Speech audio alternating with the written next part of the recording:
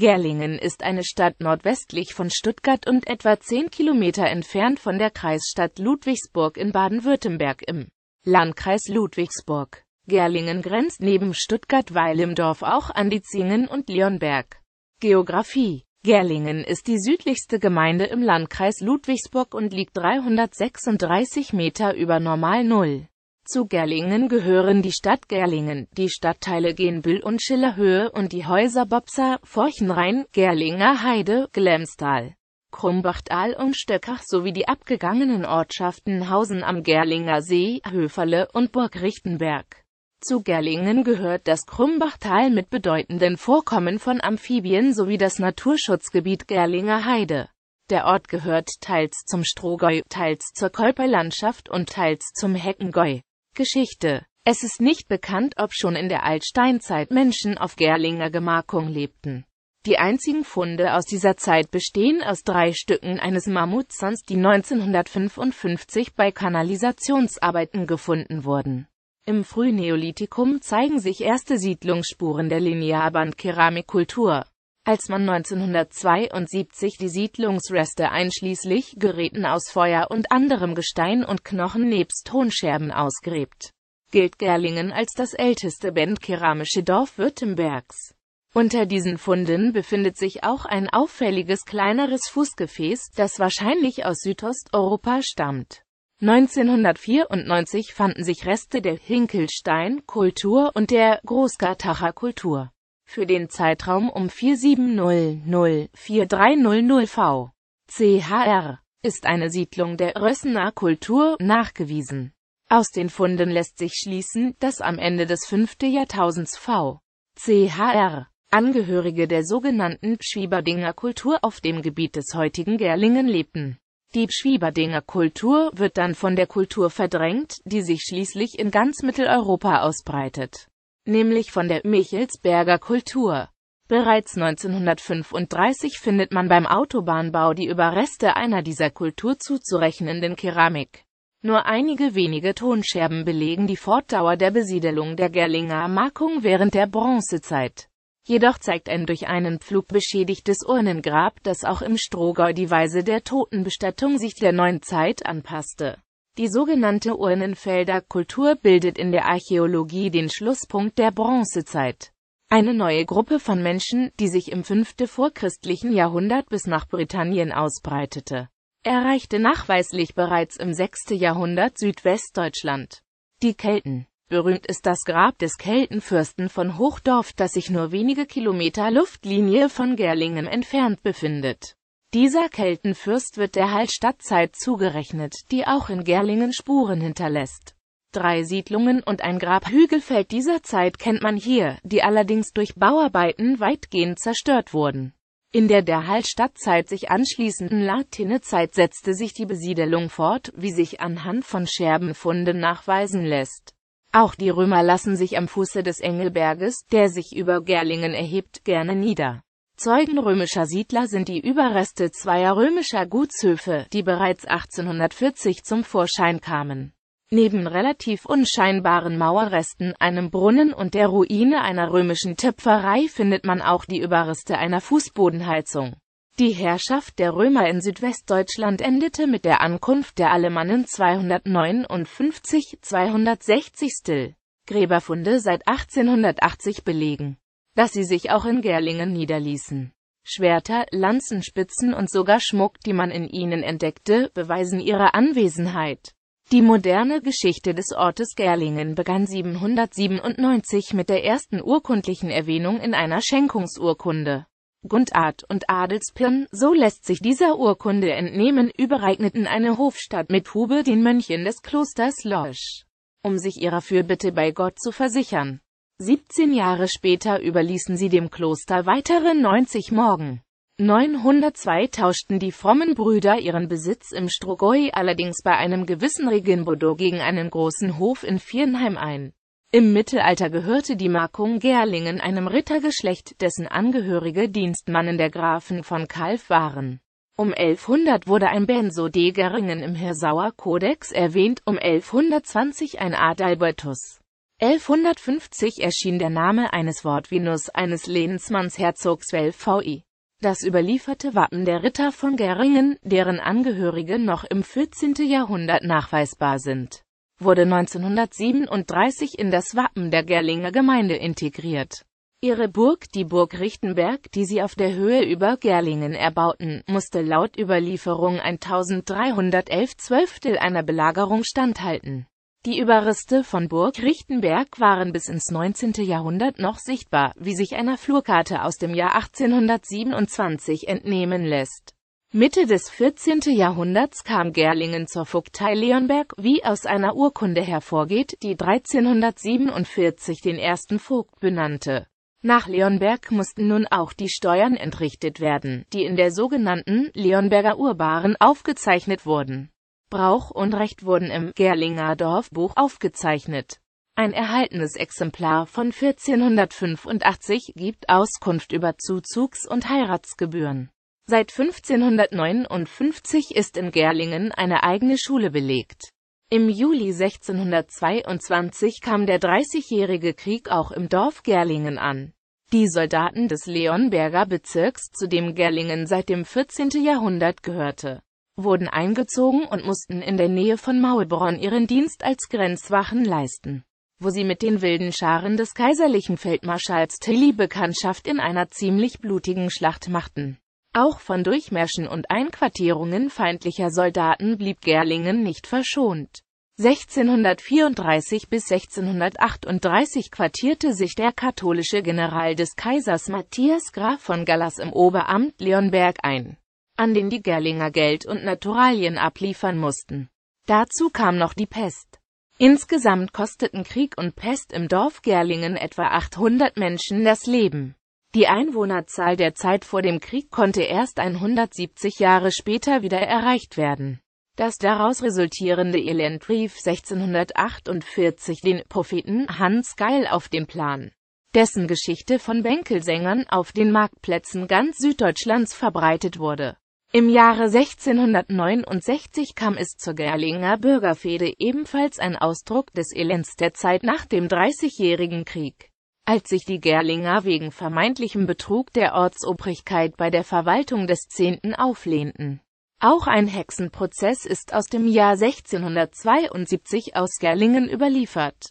Allerdings ging dieser für die Angeklagte Margareta Butzenbach, ein 16-jähriges psychisch gestörtes Mädchen, relativ glimpflich aus.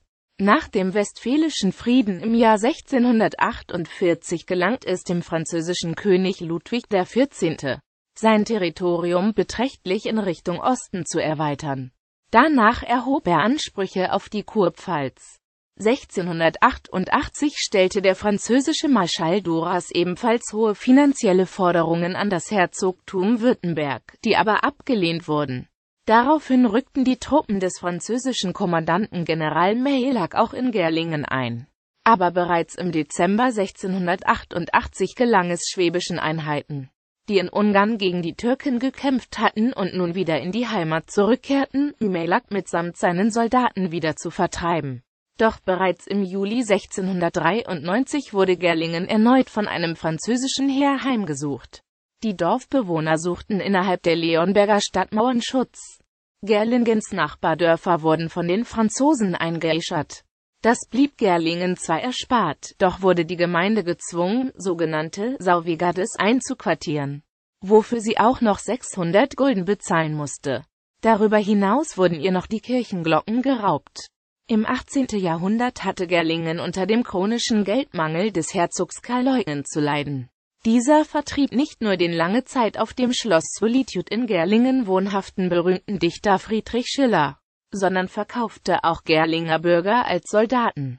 Außerdem mussten die Dorfbewohner ständig Frondienste leisten, wie beispielsweise die harten Dienste beim Bau des Lustschlosses Solitude. Der Vater des Dichters, Johann Caspar Schiller, betrieb auf Schloss Solitude die größte Obstbaumschule Süddeutschlands und legte damit die Grundlage für ausgedehnte Streuobstwiesen. Im 19. Jahrhundert stammten zahlreiche Missionare aus Gerlingen. Die beiden berühmtesten sind der Entdecker des Kilimanjaro, Johannes Rebmann, der von 1846 bis 1875 in Ostafrika wirkte und der Sprachforscher Johannes Zimmermann. Die Johannes Rebmann Stiftung hat das aus dem 16. Jahrhundert stammende Geburtshaus von Johannes Rebmann erworben und saniert und darin eine öffentlich zugängliche Missionarstube eingerichtet. Der Erste Weltkrieg kostete 119 Soldaten aus Gerlingen das Leben. An seinem Ende wurde die Weimarer Republik ausgerufen und zum ersten Mal durften auch die deutschen Frauen zur Wahlurne schreiten. Die Beteiligung bei der Wahl einer verfassunggebenden Landesversammlung im Jahr 1919 betrug in Gerlingen 91,2 Prozent. 1926 wurde Gerlingen an das Feuerbacher Straßenbahnnetz angeschlossen. Am Ende der Weimarer Republik erreichten die Kommunisten in Gerlingen sehr gute Wahlergebnisse. Während die NSDAP selbst bei der von Repressionen begleiteten Reichstagswahl im März 1933 nur auf 36,6 Prozent kam. Doch der Gerlinger Gemeinderat wurde ebenso gleichgeschaltet wie alle anderen in Deutschland. Und Bürgermeister Paul Holi bekam ihn kontrollierende NS-Beigeordnete zur Seite gestellt. Die Kommunisten Friedrich Frohnmüller, Willi Grau, Eugen Rippmann und der Sozialdemokrat Wilhelm Zeb wurden auf dem Heuberg in Schutzhaft genommen. Bereits 1938 begann die Erfassung aller wehrpflichtigen Gerlinger und im Sommer 1939 mussten sich die Jahrgänge 1910 bis 1928 zur Musterung einfinden. Ein Jahr später trafen die ersten französischen Kriegsgefangenen zum Arbeitsdienst ein. Im Zweiten Weltkrieg fielen 154 Gerlinger Soldaten und sieben Zivilisten. Eine weitere Folge der Zeit des Nationalsozialismus für Gerlingen bedeutet der Verlust der Solitude, die seit 1852 zur Gerlinger Markung gehörte. Die Nationalsozialisten planen auf dem Gebiet eine Gebietsführerschule der HJ und halten es für günstiger. Das Gebiet 1943 immerhin ein Viertel der Gemeindemarkung auf der sich zudem noch der Gerlinger Wasserbehälter befand, der Gemeinde Stuttgart zuzuschlagen. Nach dem Krieg kann den Stuttgartern nach erbittertem Kampf wenigstens nachträglich eine Entschädigung von 300.000 Deutsche Mark abgerungen werden. Zur Rückgabe des Gebietes ist die Landeshauptstadt nicht zu bewegen. Im Jahre 1953 erfolgte die Eröffnung des Tuberkulose-Sanatoriums Schillerhöhe in der Bauruine der unvollendeten NS-Gebietsführerschule gegen den entschiedenen Widerstand der Bevölkerung, aus dem sich die Klinik Schillerhöhe, Zentrum für Pneumologie, Thoraxchirurgie und Beatmungsmedizin entwickelte. Am 30. Juni 1958 erhielt der Ort die Stadtrechte. Denn in nur 15 Jahren erhöhte sich die Einwohnerzahl von 3800 auf 10.000. Dies war vor allem ein Ergebnis der Zuwanderung nicht zuletzt auch zahlreicher Vertriebener aus Osteuropa. 1969 erreichte Gerlingen mit knapp über 19.000 Einwohnern die höchste Einwohnerzahl, die seither kontinuierlich zwischen 18.000 und 19.000 schwankt, während gleichzeitig in großem Umfang Äcker, Grünland sowie die Schillerschen Streuobstwiesen bebaut wurden und werden. Mit Auflösung des Landkreises Leonberg wurde Gerlingen 1973 dem Landkreis Ludwigsburg zugeschlagen Wirtschaftlich mauserte sich Gerlingen nach dem Zweiten Weltkrieg ebenfalls vom Dorf zur Stadt. Viele kleinere und größere Industriebetriebe siedelten sich an, der größte darunter die Firma Bosch, die auf der Gerlinger Schillerhöhe ihre Hauptverwaltung hat. Ein Schwimmbad mit Sauna, eine Stadthalle, ein neuer Schulkomplex und eine neue Mehrzweckhalle werden gebaut. Besonders erwähnenswert ist die neue Stadtbücherei, deren Gebäude auch in Architektenkreisen als positives Beispiel moderner Architektur gilt. Gerlingen ist heute eine überdurchschnittlich von einkommensstarken Haushalten geprägte Stadt. Gründe hierfür sind einerseits die Nähe zu Stuttgart, die guten Verkehrsanbindungen, die gute wirtschaftliche Situation und die optisch ansprechende Innenstadt. Andererseits auch weiche Standortfaktoren wie die vielfältige Vereinslandschaft, vielfältige Kindergartenangebote, außerordentlich attraktive Wohnlagen mit Blick ins Strogoi am Rande von Weinbergen und Streuobstwiesen sowie ein hoher Waldanteil von fast 50 Prozent. Der Gemarkung Seit 1275 ist die Existenz einer Kirche in Gerlingen nachgewiesen. Seit der Einführung der Reformation in Württemberg ist Gerlingen vorwiegend evangelisch geprägt. Auch heute gibt es vier evangelische Pfarrämter in der Stadt. Aber auch eine römisch-katholische Gemeinde ist wieder entstanden. Daneben gibt es heute auch eine evangelisch-methodistische, eine neuapostolische und eine freikirchliche Gemeinde. Es besteht auch eine Ortsversammlung der Zeugen Jehovas Gerlingen. Einwohnerzahlen nach dem jeweiligen Gebietsstand. Die Zahlen sind Volkszählungsergebnisse oder amtliche Fortschreibungen des Statistischen Landesamtes Baden-Württemberg. Politik Gemeinderat Seit der letzten Kommunalwahl am 25. Mai 2014 hat der Gemeinderat 22 Mitglieder. Die Wahlbeteiligung lag bei 57,06 Prozent. Die Wahl brachte folgendes Ergebnis. Weiteres Mitglied des Gemeinderates und dessen Vorsitzender ist der Bürgermeister. Bürgermeister 1955 bis 1983 Wilhelm Eberhard. 1983 bis 1999 Albrecht Sellner. Seit 1999 Georg Brenner. Das 1937 festgelegte Wappen zeigt unter goldenem Schildhaupt darin eine schwarze Hirschstange in schwarz zwei abgewendete goldene Radfelgen. Die Hirschstange steht für die Zugehörigkeit zu Württemberg, während die Radfelgen aus dem Wappen der Herren von Gerlingen entnommen sind. Die Stadtflagge Gallengens ist gelb-schwarz. Städtepartnerschaften Gerlingen unterhält partnerschaftliche Beziehungen zu Deutschland Gefell im Bundesland Thüringen in Deutschland. Frankreich Versol in der Region Franche-Comté in Frankreich seit 1964. Ungarn Tatar in Ungarn seit 1987 und Vereinigtes Königreich Seaham in England seit 1988. Die Stadt übernahm 1968 die Patenschaft für die Landsmannschaft der Deutschen aus Ungarn in Baden-Württemberg. Kultur und Sehenswürdigkeiten Neben dem Stadt- und dem Heimatmuseum gibt es auch ein Museum der Deutschen aus Ungarn in Gerlingen. Gebäude Das Gebiet um das 1763 von Herzog Karl Eugen erbaute Schloss Solitude mit seinem gesamten Wohnplatz gehörte bis zum 1. April 1942 zur Gemeinde Gerlingen wurde dann nach Stuttgart eingegliedert und dem Stadtteil Botnang zugeordnet.